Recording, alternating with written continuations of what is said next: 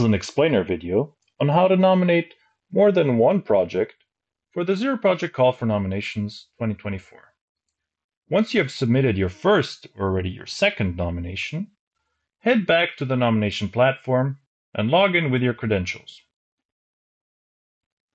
In my case, you can see that I've already nominated two projects, which you can find in the Your Submitted Nominations to the Zero Project Call 2024 section if you scroll down from the main page. Now, in order to nominate in my case, a third project, or maybe in your case, a second project, you will want to make sure that the name of the nominated organization is not the same in each of the projects. Therefore, as you register a new project for this competition, be sure to use a different naming variation for your project in order to be able to nominate a second, third, or fourth time.